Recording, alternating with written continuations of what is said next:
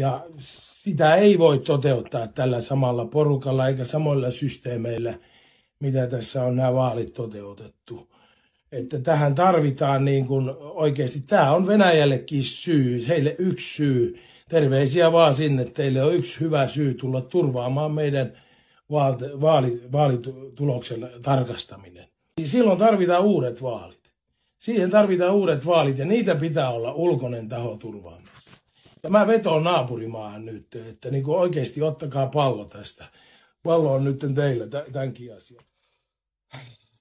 Kuinka saatanan tyhmä ihmisen pitää olla? Meillä on tässä nyt eh, käsillä tämä Turtiaisen Ano, joka on, siis täytyy sanoa, että aivan helvetin kujalla ja todella vaarallinen Suomen, Suomen tämmöiselle suojaukselle ja suvereniteetille.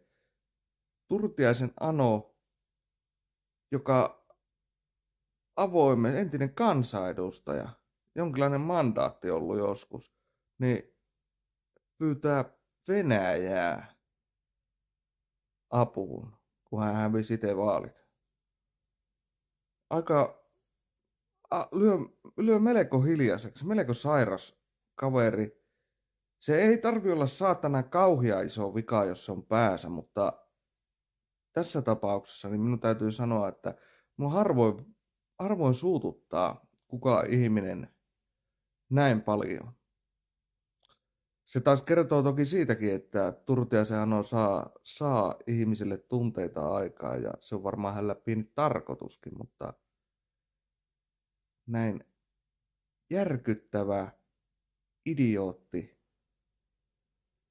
joka oikeasti, ihan aikuisten oikeasti haluaa Venäjän puuttuvan Suomen toimiin.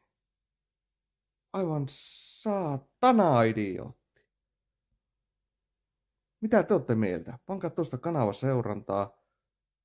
Pitäisikö tämmöiselle kaverille lukia tuomiot maanpettoruuesta ja panna kymmenen suvia linnaa sille? Mitä olette mieltä? Kanava seurantaa ja palataan seuraavalla videolla asiaan.